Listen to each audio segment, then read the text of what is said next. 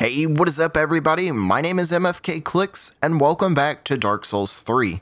In today's video, I'm going to be explaining to you how you can join the Warriors of Sunlight Covenant, along with some other key things about it you guys should know. So today I will be covering how to join the Covenant, how to level your Covenant, what you receive for pledging yourself to the Warriors of Sunlight, and how it will affect your PvP experience.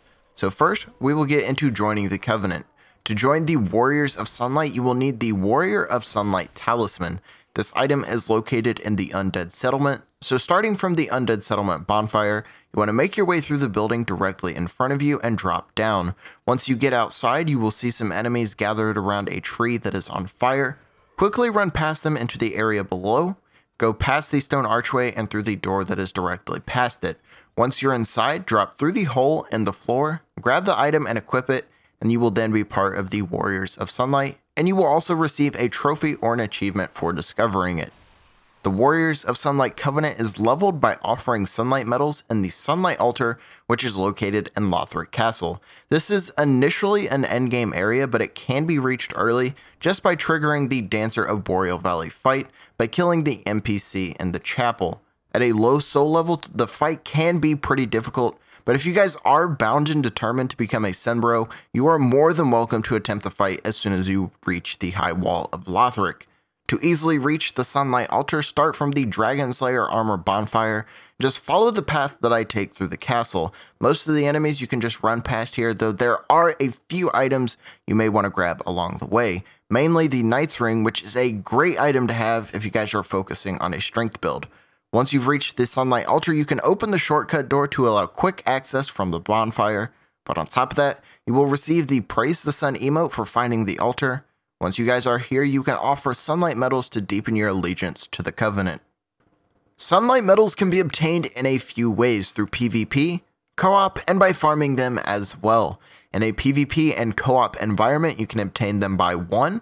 Assisting someone as a Gold Phantom, or by receiving help from a Gold Phantom. The Gold Phantom signifies that that player is a part of the Warriors of Sunlight Covenant. 2.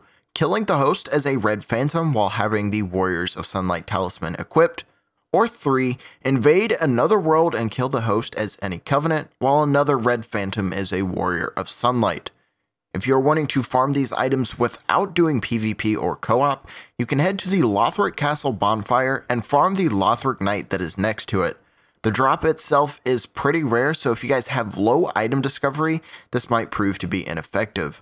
I equipped the Mimic Chest Helmet, the symbol of avarice, and I had two drop within 5 minutes of starting, so I do recommend that you get one. You guys can obtain the symbol of avarice by farming the Mimic Chest scattered throughout the world. The Warriors of Sunlight Covenant offers two rewards for deepening your allegiance. I unfortunately do not have the build that allows me to showcase them in action, but I will tell you guys how you get them and what they are. The first is rewarded at 10 Sunlight Medals, and it is the Miracle Sacred Oath. Sacred Oath will boost your attack and damage absorption for yourself and other players in your vicinity for 60 seconds. Your second Covenant reward is awarded at 30 Sunlight Medals and is another miracle by the name of Great Lightning Spear. This is a much stronger version of the regular Lightning Spear miracle which you can obtain in the game. Now that you know how to join the Covenant, how to strengthen your allegiance and farm the item that allows you to do so, and what you will receive, now I will tell you the effects this will have on your PvP experience. Before I wrap this part up, I do want to say the matchmaking formula in Dark Souls 3 is dependent on your covenant, but is subject to change at any given time with further updates to the game. The most notable change is that when you join another player's world, your character will now be golden instead of your standard color. As I said earlier, the golden color signifies that that player is a part of the Warriors of Sunlight Covenant.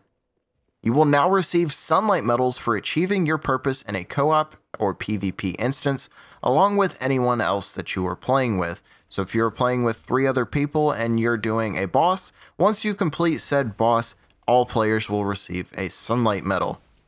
When you invade another player with the red sign soapstone or the red eye orb, the color of your summon sign will be orange. These are just some minor changes. They don't affect too much, just some cosmetic things more than anything. So to wrap things up here, this is how you can join the Warriors of Sunlight.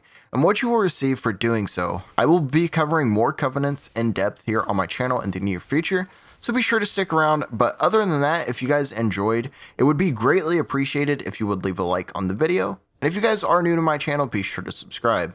I would like to thank you guys for watching though, and I will see you all later.